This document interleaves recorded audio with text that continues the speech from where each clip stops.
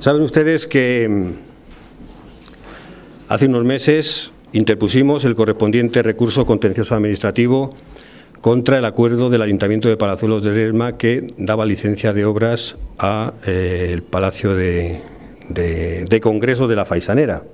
¿Cuáles son exactamente los tres motivos por los cuales el Ayuntamiento de Segovia ha impugnado ese, eh, esa licencia de, obras. Yo felicito al Ayuntamiento de Palazuelo de Lerma por la rapidez en la que tramita las licencias de obras municipales y que eh, estarán orgullosos todos los vecinos, constructores y promotores del Ayuntamiento de Palazuelo de Lerma con esta rapidez, donde prácticamente en menos de 15 días tienen informada y otorgada la licencia de eh, obras. El primer motivo de recurso es que la parcela carece de la condición de solar.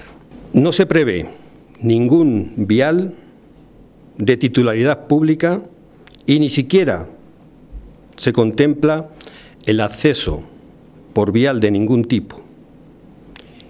No existe ni en el plano, ni en la ficha y ni siquiera en el proyecto de urbanización. Segundo motivo, la parcela es contraria a los usos autorizados. La licencia urbanística, otorgada por el Ayuntamiento de, Palazuelos, prevé o autoriza la implantación de este centro de congresos con una superficie, superficie edificable computable, según justifica el propio proyecto, de 1.290,75 metros cuadrados, lo que equivale lo que equivale al 64,54% del total de la edificabilidad otorgada.